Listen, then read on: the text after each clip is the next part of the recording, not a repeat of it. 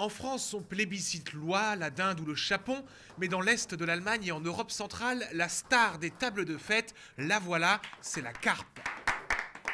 Elle apparaît ici avec ses citrons et ses carottes, selon la recette traditionnelle.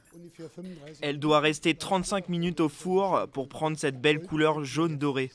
La tradition date du Moyen Âge. À l'époque, les longues périodes de maigre imposaient de ne pas consommer de viande. La mer étant loin, la carpe, poisson d'eau douce, s'est imposée pour les repas de fête.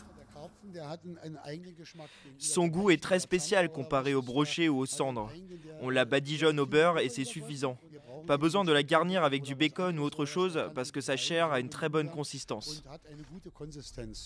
En France, la carpe n'est presque pas commercialisée et souvent on la trouve même peu ragoûtante. Pourtant, les conditions de son élevage sont souvent bien meilleures que pour nos spécialités, par exemple dans ces étangs naturels de 70 hectares.